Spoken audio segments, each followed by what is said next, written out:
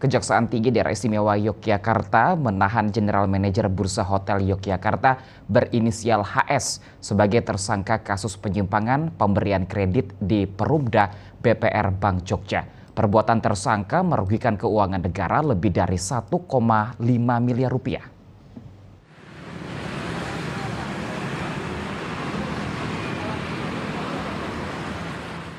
Kejaksaan Tinggi Daerah Istimewa Yogyakarta menahan General Manager Burza Hotel Yogyakarta berinisial HS sebagai tersangka kasus penyimpangan pemberian kredit di Perumda BPR Bank Jogja setelah statusnya sebagai saksi naik menjadi tersangka.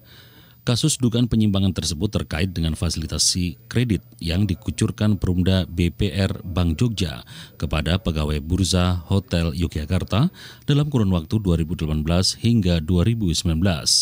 Dalam pengajuan permohonan kredit itu, HS selaku General Manager diduga memanipulasi data dengan meminjam lima nama pegawai Bursa Hotel Yogyakarta, sehingga total kredit yang dikucurkan Bank Jogja mencapai sekitar 1,5 miliar rupiah.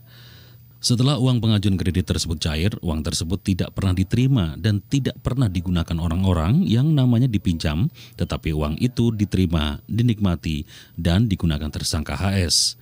Uang fasilitas kredit tersebut digunakan tersangka HS untuk keperluan pribadi dan sebagian untuk usaha. Hasil terakhir dari pemeriksaan Kejaksaan Tinggi Daerah Istimewa Yogyakarta, perkara itu mengakibatkan kredit macet pada bank plat merah tersebut di awal pandemi COVID-19. Selanjutnya terhadap tersangka HS penahanan, dilakukan penahanan selama 20 hari berhitung sejak tanggal 5 Oktober 2023 di Lapas Kelas 2 Yogyakarta. Tersangka HS dijerat dengan pasal 2 ayat 1 Yungto pasal 18 Undang-Undang Nomor 31 Tahun 1999 tentang pemberantasan tindak pidana korupsi sebagaimana diubah dengan Undang-Undang Nomor 20 Tahun 2001 Pasal 3 Yungto Pasal 18 Undang-Undang Nomor 31 Tahun 1999 sebagaimana diubah dengan Undang-Undang Nomor 20 Tahun 2001.